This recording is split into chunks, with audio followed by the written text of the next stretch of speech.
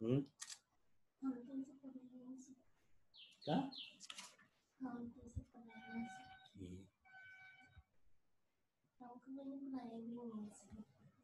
हाँ तो अपनी गलती नहीं रिकॉर्डिंग चालू है।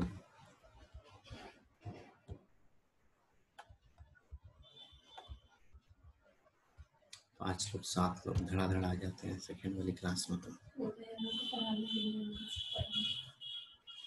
पहले ही ले पहले। हो गए भूत उतर गए अपने वो रिकॉर्डिंग चालू है ना हम्म चलो आ गए।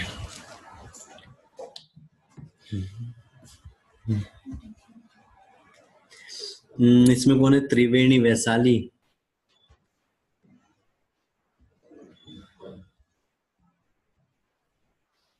त्रिवेणी को भी ऐसा लगता होगा ना कि अभी कुछ ज़्यादा चीज़ें आ रही है इसमें। त्रिवेणी?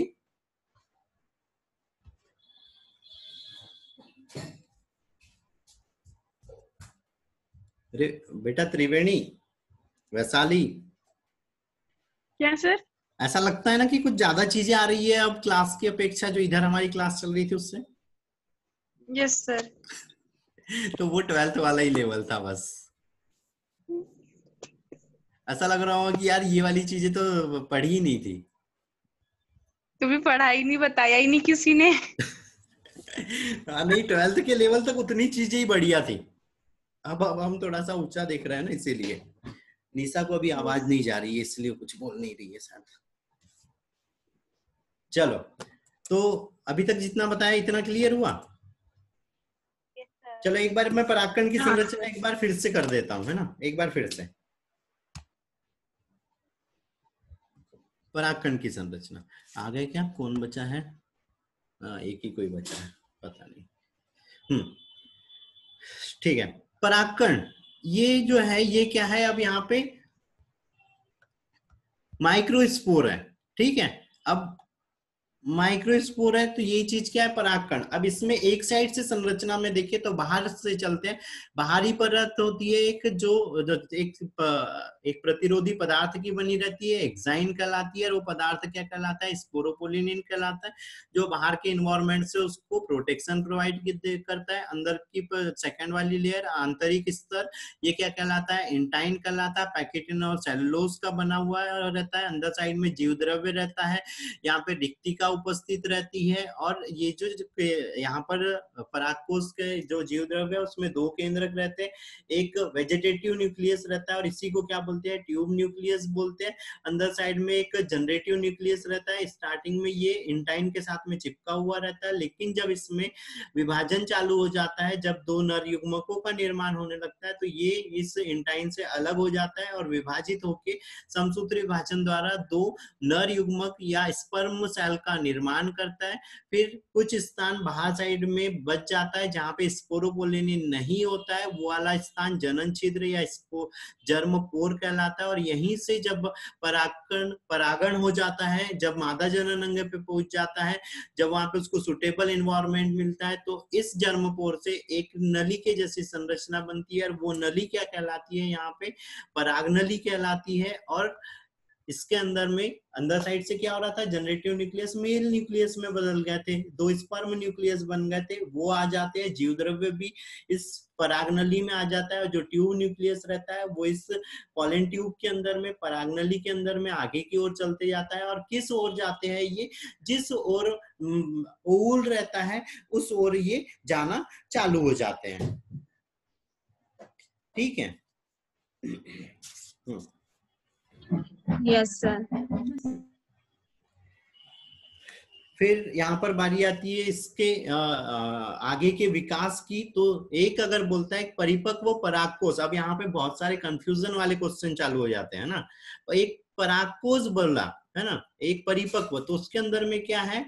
एक जनरेटिव न्यूक्लियस रहता है ट्यू न्यूक्लियस या वेजिटेटिव न्यूक्लियस रहता है।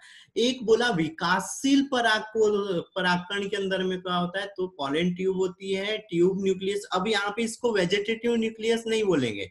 अब ये क्या कहलाने लग जाएगा? ट्यूब न्यूक्लियस कहलाने लग जाएगा और ये क्या है? स्पर्म सेल या मेल स्पर्म सेल कहलाने लग जाएँगी या मेल स्पर्म न्यूक्लियस कहलाने लग जाएँगे, ठीक है? और क्या रहता है यहाँ पे? साइटोप्लाज्म रहता है और यहाँ पे जो वैक्यूम बड़ी होने लग जाती है, ठीक है? ये क्या है? विकासशील होते हुए में, है ना? ठीक है? विकासशील के अंदर में ये चीज़ रहना है। हम्म। फिर ये तो अभी बता दिया है ना, ये भी और एक उसी का डायग्राम है। हम्म। ठीक है, अब ये जा रहा है तो इसका विकास, है ना? कैसे हो रहा है? तो जो विकास हो रहा है, उसके अंदर में क्या चीज़ हो रही है? सिंपल सी चीज़ जो परागकण है। अब यहाँ पर परागकण का विकास हो जाता है, ठीक है, इतने तक। अब बारी किसकी आती है यहाँ पे? मादा जनन अंग की बारी आती है कि मादा जनन अंग क्या है? तो मादा जनन में क्या थी? ओरी। ओरी के अंदर में क्या था? यहाँ पे ओवल था, है ना? ओवुल के स्ट्रक्चर में जहाँ पर और इसका निर्माण कैसा होता है? ओरी के लिए बताया था कि ओरी में क्या रहती है? एक खाली संरचना रहती है ना? खाली संरचना रहती है, मरासमैटिक सेल होती है, मरासमैटिक सेलों में विभाजन चालू होता है और विभाजन के दौरान क्या बन जाता है? यहाँ पे एक बिजांड बनता है है ना? ठीक है? ठीक है। ये अभी बिजांड की संरचना थोड़ा सा बाद में देखते हैं। पहले इस एक डायग्राम को देखते हैं ठीक है? अब यहाँ पर क्या चीज़ हो रही? जैसे ओ यहाँ पे क्या है ये? स्टिग्मा स्टिग्मा के ऊपर बहुत सारे परागकण आए हैं लेकिन कुछ ही विकसित होते हैं कुछ विकसित नहीं हो पाते हैं कुछ अंकुरित ही नहीं हो पाते तो इसके लिए क्या आगे चल के हम पढ़ेंगे कैसे ये चीज़ हो रही है क्या चीज़ हो रही है है ना? अभी नहीं अभी अभी दूसरी चीज़ देखते हैं ठीक है? तो यहाँ हाँ। अगर दो विकसित हो गए क्या दो फ्रूट्स बन जाएँगे? नहीं यहाँ पर जो पराग नली पहले अंदर पहुँचेंगे, उसी के साथ संलयित हो जाएँगे, क्योंकि परागकण तो बहुत सारे बने थे, लेकिन अंदर साइड में एक, ये एक सेल एक ही है तो एक ही बीज बनना है। पर अभी मैंने बताया था अलग अलग बीजांड की संख्या है। अब इस ओवरी के अंदर में, यहाँ पे एक प्रारूपीय डायग्राम है ना? एक एक, क्या बोलना चाहिए? एक स्टैंडर्ड डायग्राम है, जिसके अंदर में हम सिर्फ़ एक बीजांड दिखा। अगर बीजांडों की संख्या ज़्यादा है जैसे मल्टीपल कार्पी है तो बीजांड बहुत सारे रहना है तो उतने ही बीज बनना है है ना? जितने बीजांड रहेंगे, उतने बीज बनेंगे। ठीक है? ठीक, उसके बाद में, अब यहाँ पर क्या हो रहा है, जैसे जो एम्ब्रियो है, इस एक चीज़ याद रखो, यहाँ पर एक वैज्ञानिक थे निमेक इनने बताया था कि जो भ्रूण कोष बनता है, वो आठ केंद्र आठ केंद्र की संरचना होती है, भ्रूण कोष।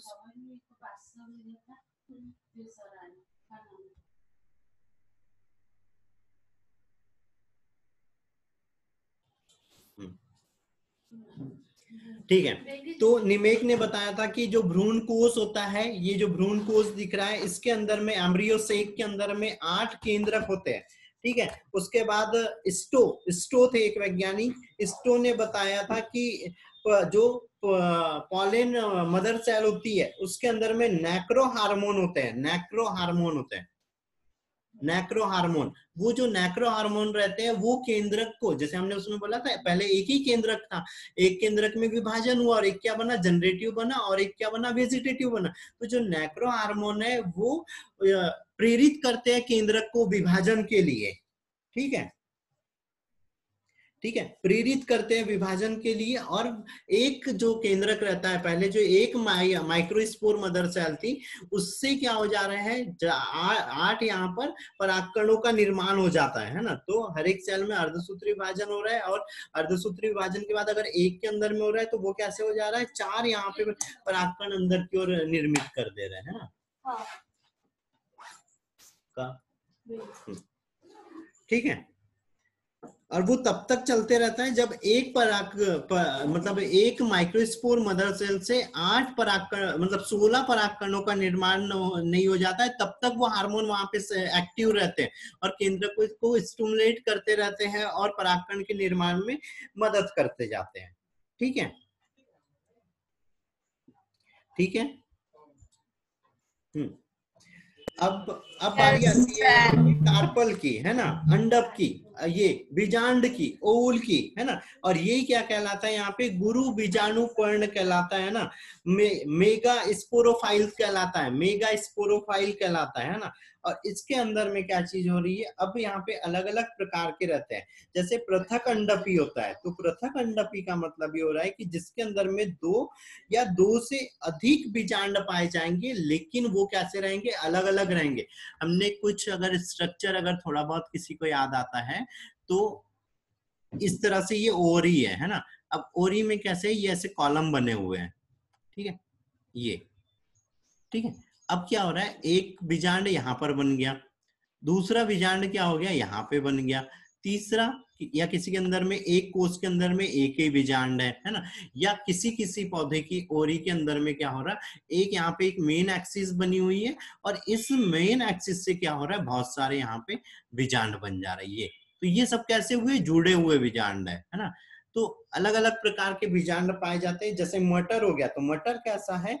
या पृथक अंडपी है। पृथक अंडपी मतलब सारे के सारे जो उसके अंदर में यहाँ पे जो बीजांड बनना है, वो अलग अलग बनना है। एक से अधिक रहना है। जैसे वो फूल के अंदर में बीज हमने देखा ना, बीज बन रहे थे फल्ली के अंदर में, चार छह बन रहे थे।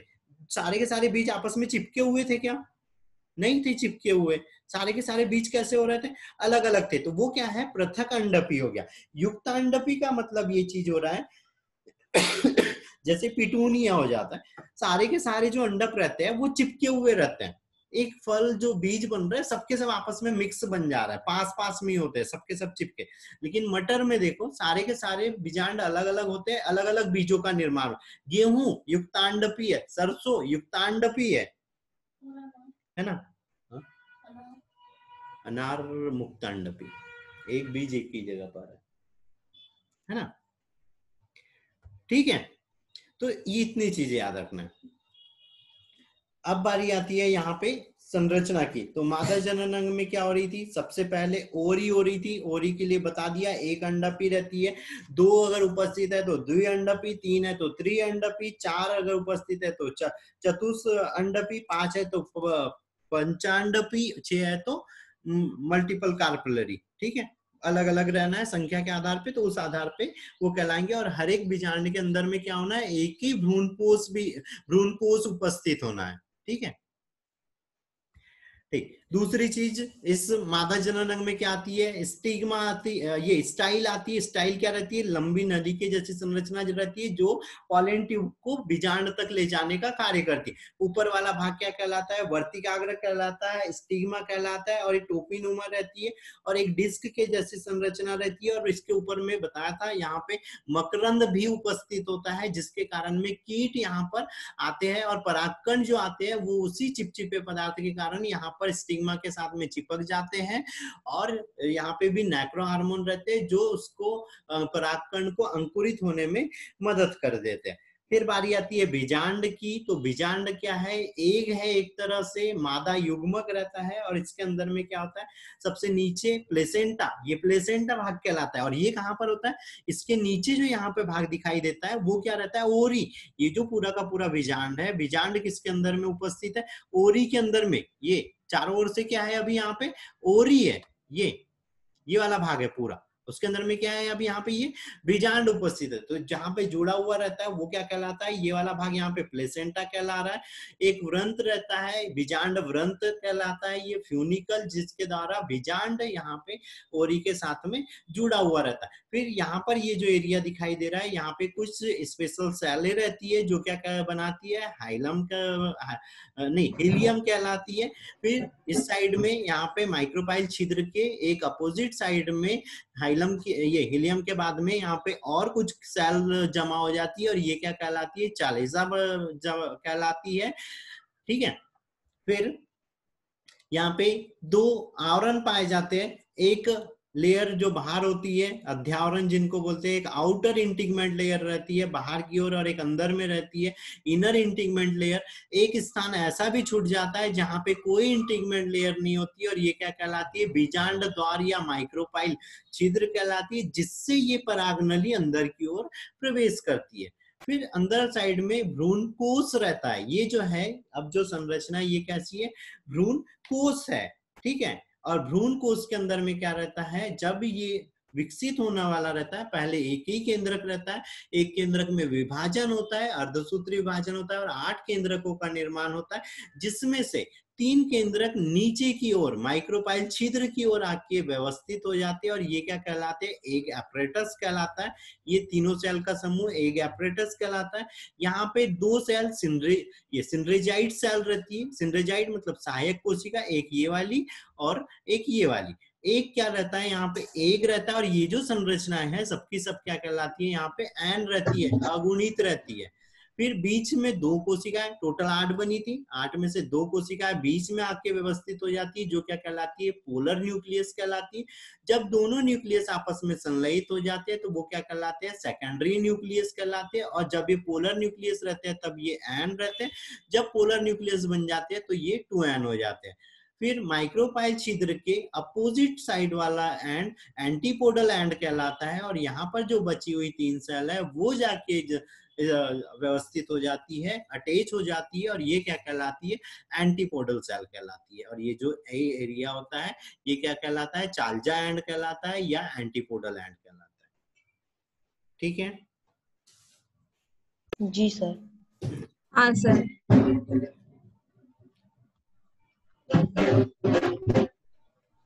इस बीजांड की संरचना से रिलेटेड कुछ डाउट है तो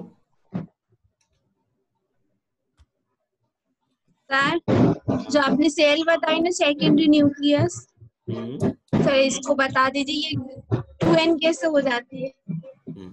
देखो यहाँ पे हमने आठ कोशिकाएँ बोली थी टोटल तो ये छह हो गई ये छह हो गई। यस सर सब एन एन है यहाँ पे अगुणित है क्योंकि बीजांड कैसा है युग्मक है है ना? तो इसके अंदर की जो सेल हो रही है यहाँ पे ये भ्रूण कोष की सेल सब अगुणित है। तो यहाँ पर बेटा दो सेल है ये सेकेंडरी सेल दो सेल है दो सेल एन एन मिक्स हो गए तो टू एन हो। गया और जब यहाँ पे एक ये जो इधर से परागकण का निर्माण हो रहा था जो जो मेल जो स्पर्म न्यूक्लियस चल रहे थे एक यहाँ एक के साथ संलयित होगा और एक जो रहेगा यहाँ पर चले जाएगा तो ये क्या हो जाएँगी? त्रिगुणित हो जाएँगी थ्री एन हो जाती है। Okay sir. और क्योंकि यहाँ पे तीन युग्मकों का संलयन होता है इसीलिए ये प्रोसेस आगे चल के अभी क्या कहलाएँगी? त्रिसंलयन। है ना? तीन युग्मकों का संलयन हो रहा है। चलो Yes, अब ये बहुत अच्छे से याद रखना है डायग्राम है ना? एनसीईआरटी की डायग्राम है यहाँ पे कौन किस प्रकार का बीजांड है है ना? तो ऑर्थोट्रोपस सबसे पहला क्या है? ऑर्थोट्रोपस है अब इनके हिंदी नाम बताना पड़ेंगे।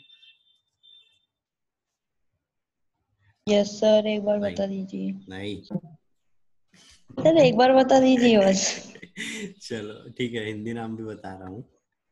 एक चीज़ यहाँ पे तो मैं हाँ देखो ये जो बीजांड का विन्यास है किस आधार पे किया गया बताओ। कोई बता पाएगा? उसकी स्थिति के आधार पर। कैसे? लेकिन बीजांड में किसकी स्थिति देख ली?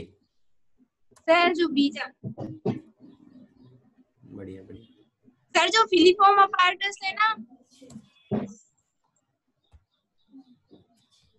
सर वो चेंज होती जा रही ना उसकी पोजीशन देखो, जो बीजांड के प्रकार है, इनके प्रकार निर्धारित किए गए हैं इन तीन संरचनाओं पे। सबसे पहला माइक्रोपाइल दूसरा है चालेजा और तीसरा है फ्यूनिकल ठीक है? इनकी स्थितियों के आधार पे इनका वर्गीकरण किया गया है। ठीक है? माइक्रोपाइल छिद्र चालेजा और फ्यूनिकल ठीक है? तो सबसे पहला ऑर्थोस्ट्रोपस रिजु रिजु बीजांड बोलते हैं। क्या? रिजुवर्ती। ऐसे कुछ। रिजुवर्ती ऑर्थोट्रोपस। तो ऑर्थोट्रोपस में क्या चीज़ हो रही? फ्यूनिकल से माइक्रोपाइल छिद्र एकदम अपोजिट चले गया है। ठीक है? फ्यूनिकल से माइक्रो मेन अगर याद रखना है तो कैसे याद रखना है? इस चालीसा को छोड़ दो।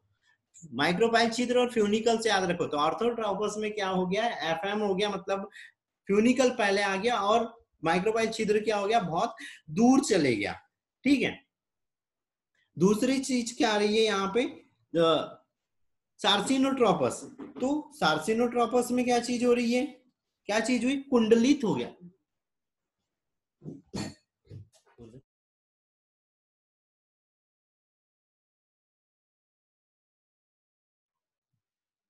बेटा।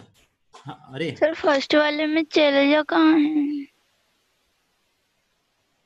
बीच में रहेगा ना। हाँ यार चला जाते ये हो गए ना। एक सेकंड रुको बेटा एक बीच सेकंड में दिया है ना। समझ में ऑब्जेक्टिव क्या?